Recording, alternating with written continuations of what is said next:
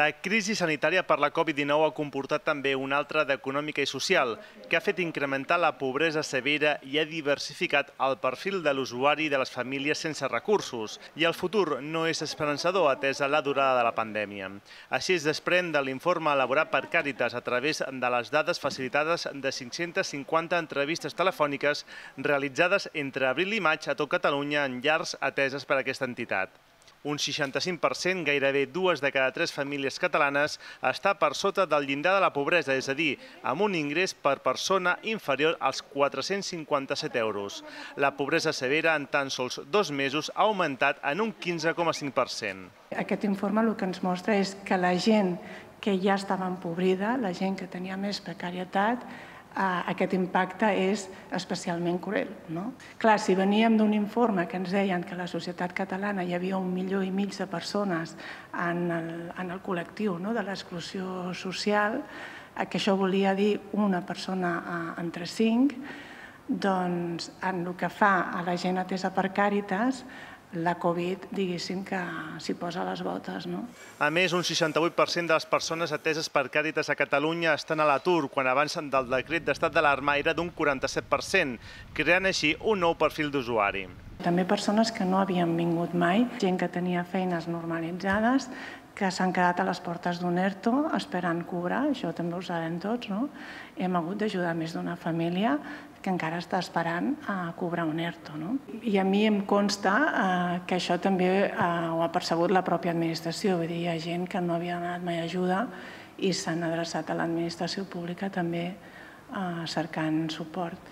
Eh, jo crec que la Covid, eh, no sé si ho puc dir així, no? però ha ajudat a molta gent a, a prendre una mica de consciència de lo vulnerables que podem arribar a ser. No?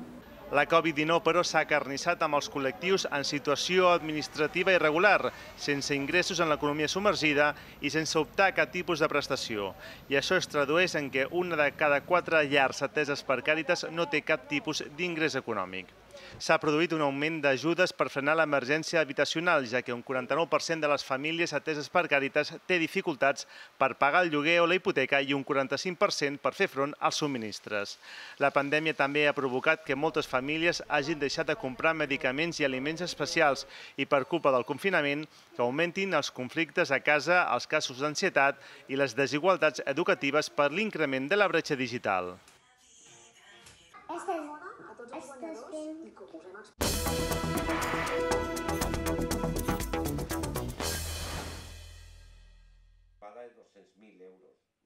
el PSC considera que el pla de xoc que proposa el govern municipal és millorable, dispers, massa genèric i poc concret. Els socialistes han explicat que aquest document hauria de ser una eina de detecció clara de la situació que viu la ciutat i que oferís mesures d'execució ràpida.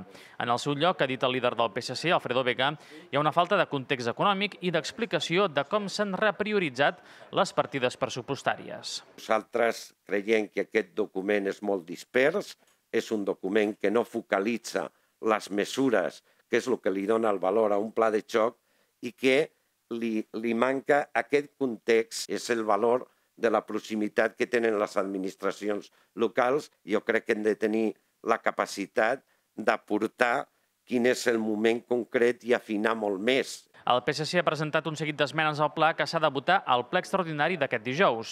Proposen la contractació de 20 rastrejadors i 20 d'agents cívics, una campanya a l'espai públic, un conveni amb els laboratoris per abaratir la prova de la Covid-19 i una reducció de l'impost per a aquells vehicles industrials que han hagut d'estar aturats. Encara que s'incloguessin les esmenes, sembla que el PSC, pel que diu Vega, s'abstindrà a la votació. Difícilment li donarem el nostre vot a favor és veritat que tampoc volem posar pals a les rodes. Això també ho podem eh, deixar clar. D'altra banda, els socialistes portaran quatre propostes de resolució al ple ordinari de divendres. Una d'elles insta la Generalitat a prioritzar la línia R4 de Renfe per connectar-la amb l'aeroport.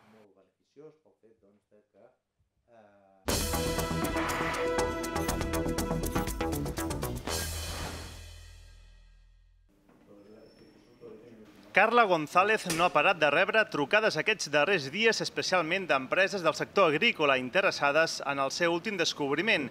Aquesta estudiant de 24 anys que acaba de finalitzar els seus estudis d'enginyeria en tecnologia i disseny tèxtil a l'ESEIAT ha obtingut un nou teixit biodegradable dels residus del blat de moro. Revaloritza així un subproducte agrícola sense valor de mercat i que pot fabricar teles antiarrels, lones de compostatges i grans mantes per sostenir talussos o evitar erosions del terreny, entre d'altres utilitats. Això li ha valgut guanyar el 31è Premi de l'Associació Espanyola de Químics i Coloristes Tèxtils al millor estudi químic tèxtil d'aplicació per la indústria, una dotació econòmica que la destinarà al màster del proper curs. A més, el projecte, dirigit per la professora Mònica Ardanui, ja s'està posant en marxa. Vam agafar la, la closca de blat d'amor en una cooperativa lleidatana d'aquí, que es diu Cooperativa Miralcamp, eh, i vam fer, vam fer l'extracció de les fibres, posteriorment vam fer la telenoteixida per usos agrícoles. És apta per, per cultivar plantes, ja que té una bona afinitat. És, un, és una telenoteixida comparable a les teles notexides actualment que estan fetes de coco. El problema d'aquestes és que tenen costos associats a, al transport i, i molta contaminació, ja que a Europa no, no en tenim d'aquesta fibra de coco fàcilment a més de ser un producte novedós, és de quilòmetre zero. I és que un 34,5% del terreny cultivable a Catalunya és de blat de moro, per la qual cosa aquestes fibres amb característiques tèxtils ajuden a fomentar l'economia circular. Bueno, els estudiants estem buscant sempre les maneres per, per donar-li una segona vida tant als productes, en el cas del tèxtil sobretot, i bueno, que dintre de, del que tothom pot, el té al seu abast, podrien, podrien fomentar aquesta economia més circular deixant de costat l'economia lineal al que, al que ens tenen sotmesos actualment. En l'obtenció d'aquest nou teixit, Carla González aplica al sector econòmic la seva filosofia de vida, basada en la sostenibilitat i la minimització de residus.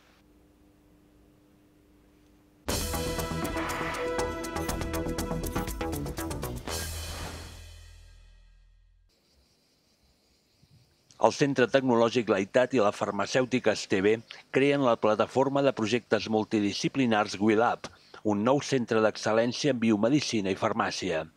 La nova aliança, que comença a funcionar aquest agost, és una oportunitat per reforçar l'experiència i el coneixement dels investigadors i potenciar les tecnologies més avançades en el camp biomèdic gràcies a la xarxa tecnològica de l'AITAT és que estem ajudant a diferents iniciatives pel, pel tema de Covid en diferents àmbits. En l'àmbit de la biomedicina doncs, també estem col·laborant en diferents iniciatives i el que pretén és eh, el WILAB, aquesta nova iniciativa de l'Itat Esteve, és posar eh, en, aquesta, en aquest àmbit aquestes capacitats i aquest know-how que té l'Itat de fer aquests projectes multidisciplinars. I nosaltres ja dediquem uns recursos, Esteve ja dedicava uns recursos a aquest àmbit d'I+D. Aquí no es tracta d'una suma, es tracta d'una multiplicació i sobretot el que tenen la voluntat d'aquestes dues empreses amb aquesta nova marca que és WILAB és de sumar-ne molta d'altres per ajuntar capacitats i poder ser cada cop més competitius. Esteve incorpora al projecte 80 investigadors i 2.400 metres quadrats de laboratoris al Parc Científic de Barcelona. Per la seva banda, l'AITAT referma el seu posicionament internacional en el camp de la recerca i la innovació biomèdica i farmàcia. El conveni deixa la porta oberta a d'altres empreses a la participació en el nou WILAB. Les dues entitats no amaguen que entre les seves recerques hi ha el repte de col·laborar en trobar una vacuna per a la Covid-19, tal i com ja va fer l'AITAT amb la seva contribució per a nous respiradors.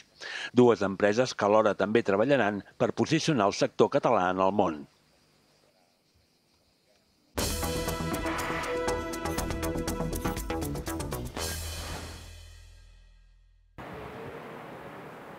La Unió Sindical dels Treballadors d'Ensenyament de Catalunya denuncia que el Departament d'Educació no té un pla B per la tornada a l'escola al setembre si la situació es complica. Això implicaria una nova situació d'improvisació que faria trontollar de nou el sistema. Volen fer coses sense diners i sense diners doncs, amb, un, amb una pandèmia com aquesta, amb les mesures que caldrien, amb, Penseu que ara hem d'anar a la platja amb mascaretes i, i el pla inicial és 30 persones tancades, amb finestres tancades, amb calefaccions obertes, sense mascaretes, en una sala petita, que són les aules de secundària com la d'aquest institut, doncs afigureu-vos.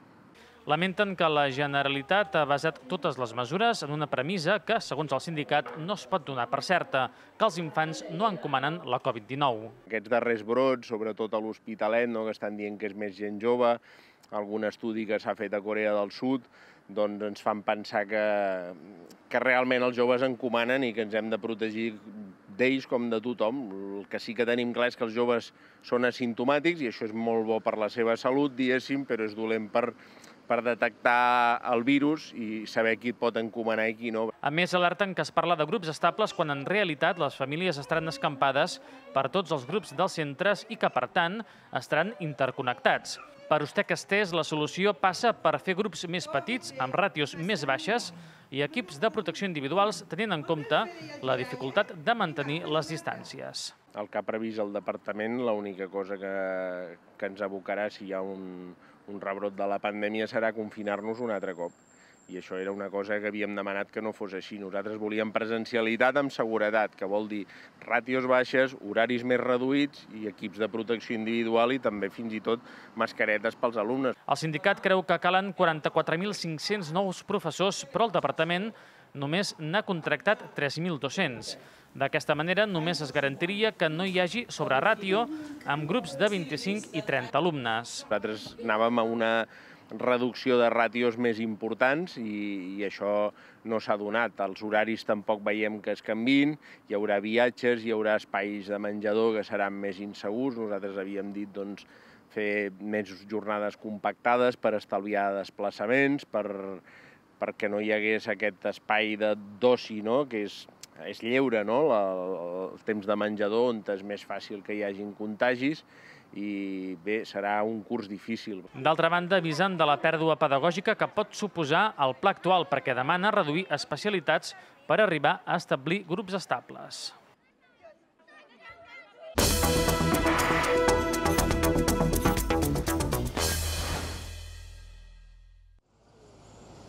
El Teatre Auditori ja té a punt la nova temporada 2020-2021. De setembre a gener es podran veure un total de 30 propostes. Es reprogramen 8 dels espectacles de la temporada passada que es van haver d'ajornar amb motiu de la pandèmia i la resta d'espectacles ajornats es representaran a la segona part de la temporada. Les Seis Sister, Martirio, Vicky Peña, Pablo Derqui, Cayetana Guillén Cuervo i Sopa de Cabra són alguns dels nous noms de la programació que visitaran Sant Cugat.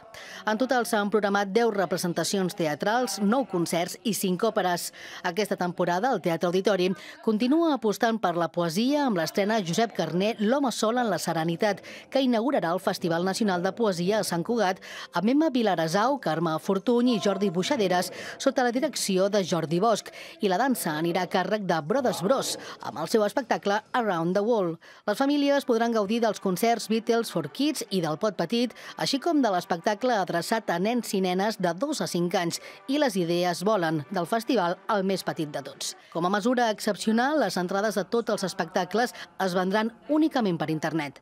Per entrar al Teatre Auditori s'aplicarà un estricte protocol de seguretat i prevenció a motiu de la pandèmia que afectarà tant el públic com el personal tècnic i artistes que hauran d'adoptar mesures de protecció. Nosaltres continuem apostant per la represa a la vida cultural, a la vida social, la reactivació econòmica de la, de la nostra ciutat. Només podrem mantenir-ho si a l'hora de que a la nostra aposta és aquesta reactivació de la ciutat des de tots aquests àmbits que dèiem, però mantenem d'una forma escrupulosa i rigorosa aquestes mesures de seguretat. La venda dels espectacles ajornats s'iniciarà a partir del dimarts 15 de setembre, mentre que els abonaments i la resta d'espectacles programats es farà a partir del dijous 8 d'octubre.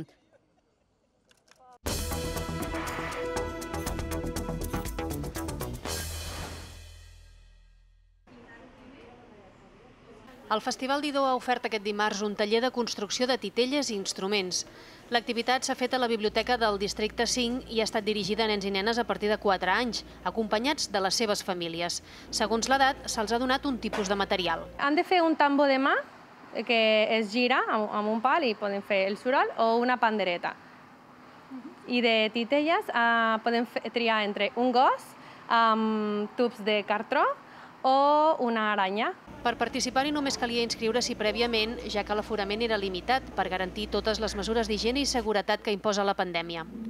A banda de compartir una estona amb la família, l'objectiu del taller és treballar sobretot la creativitat en els infants. En un principi la creativitat, perquè nosaltres les donem les instruccions, però és veritat que els deixem de que, de que provin diferents coses de la seva imaginació.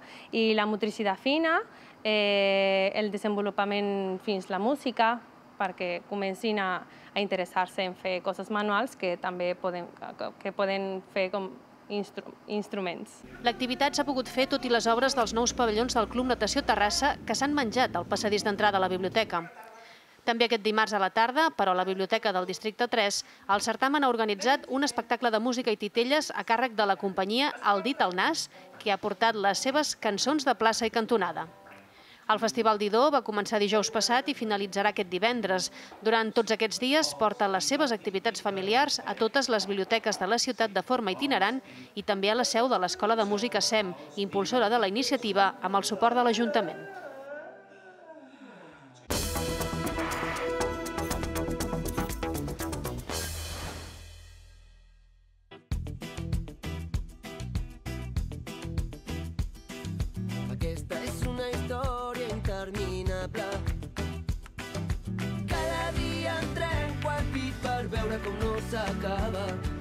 Los MUC estan llestos per publicar pròximament un EP amb tres dels seus últims senzills en català. Es tracta d'una traducció del castellà, llengua amb la que habitualment escriu el compositor, cantant i líder de la banda, Juan Carlos Sánchez. Para nosotros fue un reto, porque nosotros cantábamos en castellano y para nos, yo siempre tenía como reto, porque soy catalán, y como reto tenía componer una canción en catalán. ¿no? Y lo hicimos eh, en Bonita Melodía como, como primer single y tuvo buen resultado. A la gente aquí le gustó mucho y, a partir de ahí lo hicimos con, con Rota, que también sacamos el single en catalán, y ahora con Creo que sin ti, que también hemos sacado el single en catalán. Aquest EP és una iniciativa de Flow Records per moure la música de los Muca arreu de Catalunya. Sánchez reconeix que li ha resultat complicat fer la reconversió idiomàtica. En Creo que sin ti eche mano de Kiko, que está aquí con nosotros, y estuvimos ahí traduciendo y dándole forma a la canción. Porque a mí me cuesta un poco, porque yo vocabulario catalán pues tengo, tengo menos. Actualment los Muca, com la gran majoria de grups de música de Catalunya, estan aturats amb concerts anul·lats aquest estiu i a l'espera que la situació millori per desconfinar del tot la cultura. Bueno, la alternativa es empezar de cero otra vez. Supongo que, la gente empieza a coger un poco de confianza sin, sin perder la prudencia y, que la, los grandes, digamos, los ayuntamientos, la, la Generalitat, el Estado, quien sea, apoye la cultura y, y, le dé un empujón y piensen que nosotros no, no somos portadores del virus a, a, todos los sitios donde vamos. ¿no? El problema de todo esto es que, claro, si tampoco entra líquido, pues esto vale mucho dinero y, muchas, muchas bandas no sé si vamos a poder aguantar.